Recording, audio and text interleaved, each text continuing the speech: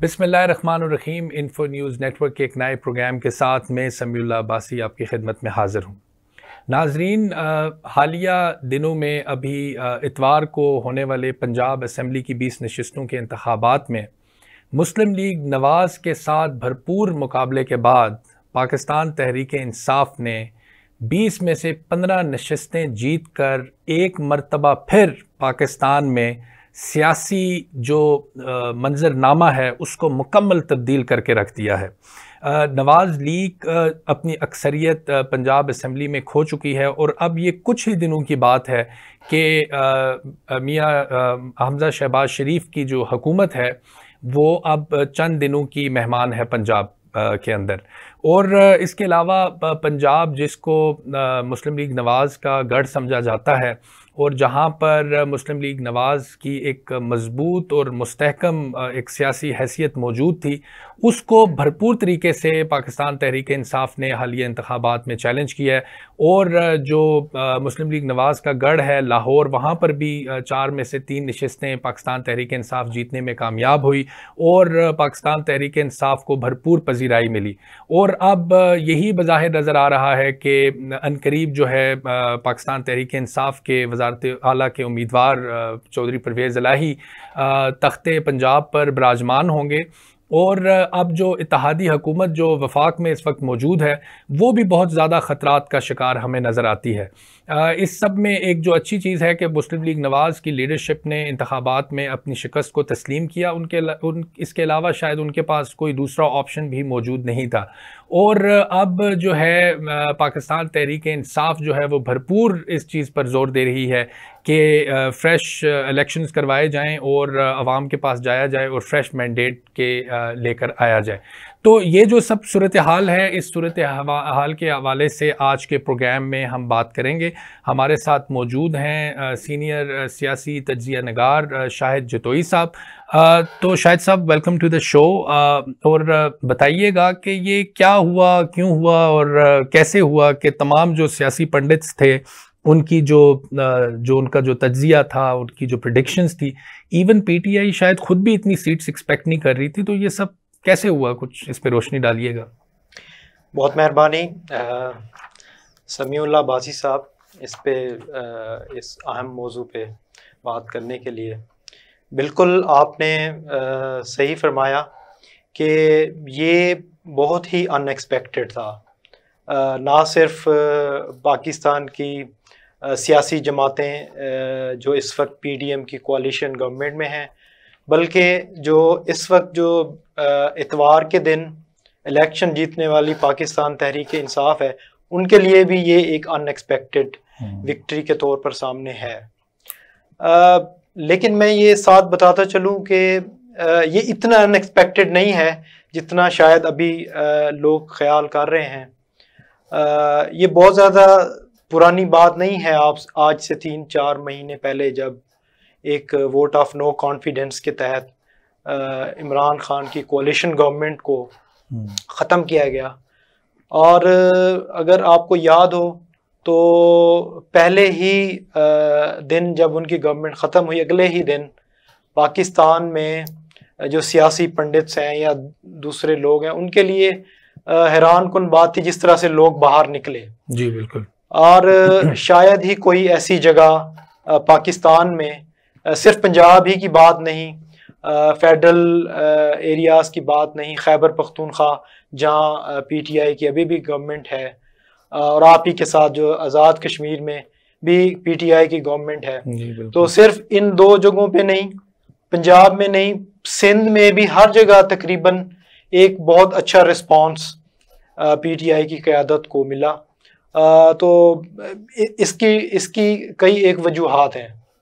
सबसे पहले आपको अंदाज़ा है कि किस बहुत ही एक एहसन तरीके से अपनी ख़त्म होने वाली हुकूमत को सहारा हम्म। देने के लिए एक बयानिया जो इमरान खान ने बनाया वो बयानिया जो एक कॉन्स्परेसी का बयानिया था और जिसके पीछे ये बयानिया इसी तरह से ही बना कि अमेरिकन कॉन्स्परेसी है हम्म। आज भी अगर हम देखें तो आज भी हमारे मुल्क में जो सबसे ज़्यादा बयानिया बिकता है वो यही है कि कोई भी हुकूमत बनाने में और हुकूमत गिराने में अगर किसी का कोई रोल बनता है तो वो अमेरिका है। मतलब अमेरिकन इन्फ्लुएंस इस कदर हमारे मुल्क में पिछले तीन चार डेकेड्स में इस कदर ज़्यादा हुआ कि ये बयानिया आराम से बिकने वाला था। लेकिन सर, इसमें आपकी बात काटूँगा, लेकिन एंटी अमेरिकनिज्म की अगर हम बात करें तो पाकिस्तान में शायद जमात इस्लामी से बड़ा एंटी अमेरिकन स्टैंड कभी किसी सियासी जमात ने नहीं लिया। तो वो क्या वजूहत हैं कि जमात इस्लामी को तो उस नैरेटिव पे उतना पजीराई नहीं मिली, लेकिन इमरान खान की जो आपने बयानिए की बात की, उनके बयानिए के साथ साथ क्या आप नहीं समझते कि एक बड़ी स्ट्रॉन्ग और बड़ी ऑर्गेनाइज जो पॉलिटिकल कैंपेन थी इमरान खान साहब की, हम देखते हैं कि उन्होंने छोटे छोटे शहरों में बड़े बड़े जलसे किए। उसके अलावा लगातार उन्होंने टीवी में इंटरव्यूज़ दिए। उनका बयानिया सही था या गलत था, इससे कता नज़र उसको लोगों तक पहुँचाने में वो बहुत कामयाबी उन्होंने हासिल की। बनस्बत उन सियासी जमातों के जो एंटी अमेरिकन एक नैरेटिव तो रखती हैं जो जितनी भी हमारी इस्लामी सियासी जमातें हैं लेकिन उसको शायद अवाम तक उसको पहुँचाने में उस तरीके से कामयाब नहीं होती जैसे इमरान खान साहब हुए।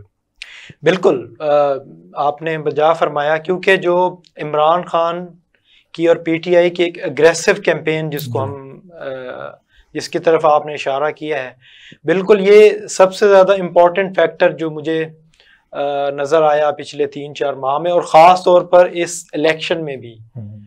कि छोटे सिर्फ़ पंजाब के पंजाब में जैसे कि पहले यही ख्याल किया जाता था या किया जा रहा था कि पंजाब में चूँकि जो एक नॉर्थ साइड है पंजाब की जिसको हम जीटी रोड कहते हैं या जो ये जहाँ मुस्लिम लीग नवाज़ का होल्ड है लाहौर और उसके इर्द गिर्द इसके अलावा यहाँ पर तो ये था कि किसी हद तक मुस्लिम लीग नवाज़ जो है ना वो अपने वोटर्स को मोबिलाइज करने में कामयाब होगी लेकिन इमरान खान की जो ओवरऑल कैंपेन थी उसने पंजाब के हर कोने में हम्म। मतलब लाहौर से लेकर जीटी रोड के बाकी जो भी एरियाज़ थे और फिर ख़ास तौर पर साउथ पंजाब के छोटे छोटे कस्बात तक एक जलसे की है कॉन्स्टिट्यूंसी लेवल तक की जो कैंपेन है दैट वो जो देखने में आई और ज़ाती तौर पर इस तरह के मुशाहदात मेरे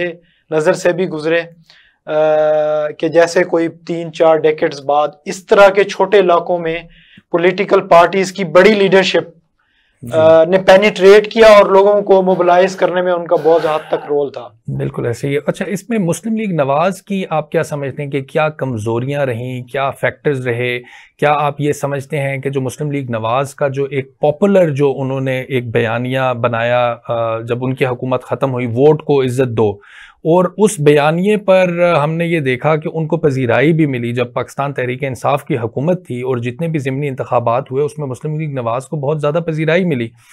तो आप क्या समझते हैं कि पाकिस्तान में क्या फाइनली अब हम ये तब्दीली होते हुए देख रहे हैं कि जो भी जमात एंटी इस्टेब्लिशमेंट स्टैंड लेगी, अवामी सतह पर उसको पजीराई मिलेगी?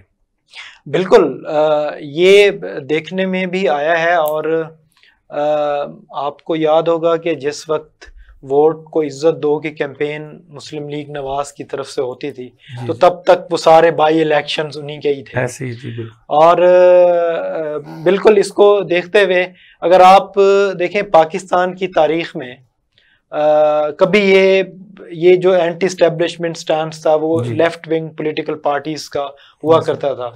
पीपल्स पार्टी जिसमें सफ़े अवल की जमात थी। फिर एक वक्त आया कि सबने देखा कि पाकिस्तान मुस्लिम लीग नवाज़ और उसकी लीडरशिप ने ये एक एंटी स्टेब्लिशमेंट स्टांस लिया। हम्म। और उसी एंटी स्टेब्लिशमेंट स्टांस को बढ़ाते हुए मतलब उसकी डायनामिक्स डिफरेंट है। अगर आप उसको फर्दर उसका एनालिसिस करें तो डायनामिक्स डिफरेंट है। आ, अगर आप देखें तो जो पाकिस्तान मुस्लिम लीग नवाज़ है या उससे पहले पीपल्स पार्टी है उनकी उनकी इस्टेब्लिशमेंट के खिलाफ जो भी उन्होंने बयानिया बनाया वो हमेशा ही एक आ, एक तरह से बड़ा ही मोहतात बयानिया था। लेकिन पहली दफ़ा आपने ये देखा होगा कि पीटीआई की लीडरशिप ने बहुत ही एग्रेसिव एग्रेसिव बयानिया बनाया और इस्टेब्लिशमेंट में टॉप लीडरशिप को उसका निशाना बनाया। जी बिल्कुल तो ये टॉप लीडरशिप को निशाना बनाने के साथ साथ उसको उन्होंने लिंक भी किया अमेरिकन कॉन्स्परेसी के साथ तो मेरे ख्याल में अब आवाम इस हद तक ख़ास तौर पर जो यूथ है जो नई नस्ल है आ, वो वो सिटीजन्स या वो हमारी पॉपुलेशन जो कि समझें कि 2002 के बाद से हम्म। हमारे मुल्क के सियासी मंजरनामे में ऐड हुई है वो वो पॉपुलेशन अगर आप देखें तो 2013 के पाकिस्तान जो 15 करोड़ लोगों का पाकिस्तान था और आज का 2022 का पाकिस्तान जो कि 22 करोड़ अवाम 22 करोड़ अवाम का पाकिस्तान है। इसमें जितना भी एडिशन हुआ है वो उस यूथ वो यूथ का एडिशन है जो कि शायद पुरानी सियासत को जो पुराना पाकिस्तान की सियासत है उसको काबिल कबूल उनकी नज़र में वो काबिल कबूल नहीं है। यूथ की बात करते चलें शायद साहब तो इसमें ये बताइएगा कि हम फ्यूचर की अगर बात करें कि अब एक वाज, एक इशारा पंजाब, जो कि पाकिस्तान का सबसे बड़ा सूबा है, वहाँ से मिल चुका है। इसके बाद अब क्या जवाब बनता है कि वफाक में ये जो इतिहादी हुकूमत है, इसको कंटिन्यू ये करेंगे? या आपको लगता है कि जितने दिन मज़ीद ये अभी इकतदार में रहेंगे तो ये उतना ही ज़्यादा इनके लिए फ्यूचर में काउंटर प्रोडक्टिव होगा। तो आया ये इलेक्शंस की तरफ़ जाएँगे या अभी ये स्ट्रेच करेंगे इसको जो नवंबर, दिसंबर के बाद तक और जो बातें चल रही हैं उस हवाले से, और फ्यूचर में आप क्या देखते हैं कि अगर आज हम दो महीने बाद, तीन महीने बाद इलेक्शंस करवा देते हैं पाकिस्तान में इलेक्शंस हो जाते हैं तो क्या पीटीआई का ये जो पंजाब का अभी ये जो हमने नतीजा देखा है, यही रेप्लिकेट करेगा पूरे पाकिस्तान में या कुछ आपको तब्दीली नज़र आएगी? देखें बहुत अच्छा आपने ये इस तरफ़ इशारा किया। इसमें जो सबसे इम्पोर्टेंट बात है, वो पहली बात तो ये है कि काफ़ी हद तक जो पॉलिटिकल अभी मंजरनामा बन रहा है और जो पी डी एम की सियासी क़्यादत है मुख्तलिफ़ पोलिटिकल पार्टीज़ की आ, वो शायद फौरी तौर पर इलेक्शंस के हक में नहीं नज़र आ रहे हम्म। दूसरी जो बहुत ही अहम बात है तमाम स्टेक होल्डर्स के लिए चाहे वो इस्टेब्लिशमेंट है हमारी हम्म। चाहे हमारी सियासी जमातें हैं या अभी जीतने वाली पाकिस्तान तहरीक इंसाफ है या हमारे दोस्त ममालिक हैं जो जिनका काफ़ी हद तक हमारे मुल्क पे इन्फ्लुएंस है। जो सबसे अहम बात है वो है पाकिस्तान की इकोनॉमी जी बिल्कुल। आपने बिल्कुल अभी देखा होगा कि दो दिन में जैसे ही इलेक्शंस के रिजल्ट्स हैं डॉलर्स ने कोई दस रुपए गेन किए हैं। इसी तरह से स्टॉक मार्केट बहुत तेज़ी से नीचे जा रही है। जो आईएमएफ का हमारा जो पैकेज हमारा जो आईएमएफ का ये जो अभी अगले दो तीन साल का प्लान है जो कि ऑलमोस्ट कंप्लीशन के फ़ेज़ में था आल दो कि उसकी अभी केस जारी नहीं हुई और शायद आईएमएफ ने ये बता भी दिया है कि अगर पाकिस्तान इलेक्शंस में जाता ही है डिसाइड करता है तो शायद उस पर इम्पेक्ट नहीं भी होगा। आ, इस इसके बावजूद भी एक इंडिपेंडेंट तजिया के तौर पर अगर हम देखें तो ये बहुत मुश्किल है ये इस वक्त इलेक्शंस में जाना जी ना सिर्फ़ as as a political parties जो पीडीएम की जमात हैं उनके लिए बल्कि एज उनका जो दो तीन चार महीने पहले जब वो वोट ऑफ़ नो कॉन्फिडेंस में गए उन्होंने एक बयानिया बनाया हम्म। कि जी हमने सियासत को कंप्रोमाइज करके हम आ, स्टेट को बचाने के लिए आए हैं तो ये मेरे ख्याल में दोनों सूरतों में ये बहुत मुश्किल नज़र आ रहा है। आ, लेकिन साफ़ जर है अगर आप देखें पंजाब में आ, अगर हुकूमत जैसे कि लग रहा है कि 22 जुलाई को तब्दील होने जा रही है तो फेडरल गवर्नमेंट के लिए बहुत मुश्किल होगा कि इस जब इसके अतराफ में खैबर पख्तूनख्वा में पी टी आई की हुकूमत हो पंजाब में पी टी आई की हुकूमत हो कश्मीर में पी टी आई की हुकूमत हो। तो बहुत मुश्किल है सरवाइव करना। तो ये एक थोड़ा सा मुश्किल सिनेरियो बनेगा। लेकिन इस सब में जो इम्पोर्टेंट बात है जिसमें शायद जो कोalition गवर्नमेंट है वो कॉन्फिडेंस उनको कहीं ना कहीं नज़र आ रहा है। वो फॉरेन फंडिंग केस है। डिस्पाइट के पीटीआई की लीडरशिप इमरान खान साहब इलेक्शन कमीशन पे एक दबाव बढ़ा रहे हैं कि इलेक्शन कमीशन डिज़ोल्व हो और एक नया इलेक्शन कमीशन बने। उस आ, शायद उसकी एक रीज़न ये भी है कि जो फॉरेन फंडिंग केस का फैसला महफूज हुआ था पिछले दिनों में आ, अगर आप देखें तो इस वक्त प्राइम मिनिस्टर शहबाज शरीफ मियाँ शहबाज शरीफ साहब ने भी इलेक्शन कमीशन पे अपना एक दबाव बढ़ाया है कि फॉरेन फंडिंग केस का फैसला वो जल्द जल्द तो आप जल्द क्या समझते हैं कि इलेक्शन कमीशन किसी भी किस्म का दबाव बर्दाश्त करेगा? और इस हवाले से भी इस पर भी थोड़ी सी रोशनी डालिएगा कि इलेक्शन कमीशन के रोल को आप किस तरीके से देखते हैं? कि चीफ इलेक्शन कमिश्नर को मिस्टर एक्स और मिस्टर वाई की बहुत सारी बातें चलती रही। हमने इलेक्शन कैंपेन में पाकिस्तान तहरीक इंसाफ की जानब से हमने देखे इल्ज़ाम की जद में वो रहे इवन इलेक्शन जीतने के बाद भी। लेकिन क्या आप नहीं समझते कि तहरीक इंसाफ की हुकूमत में जितने भी ज़मनी इंतबात हुए तो अपोजिशन की जमातों को बड़ी पजीराई मिली और अब जबकि जो अभी हमारे सामने जो इंतबात के नतज हैं तमाम तर प्रेशर के बावजूद चीफ इलेक्शन कमिश्नर ने और इलेक्शन कमीशन ने अपनी क्रेडिबिलिटी को काफ़ी इंश्योर किया है। या इमरान खान के इल्ज़ाम की वजह सिर्फ़ और सिर्फ़ फॉरन फंडिंग केस के ऊपर प्रेशर बिल्ड करने की वजह से है।